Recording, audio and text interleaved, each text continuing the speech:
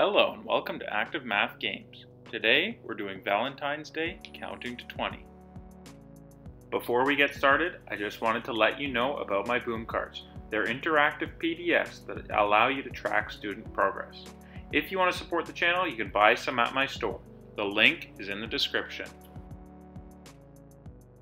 We're going to get started with today's video. I'm going to help you with the first one, then you'll be on your own. So you have to fill in the blank and shout out your answer. 13. Now you're on your own.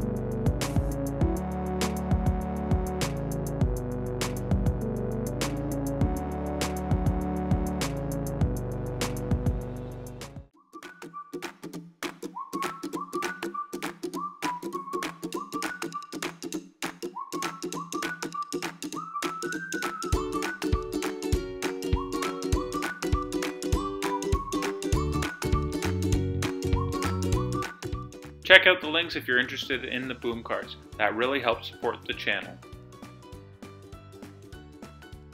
And see you next time.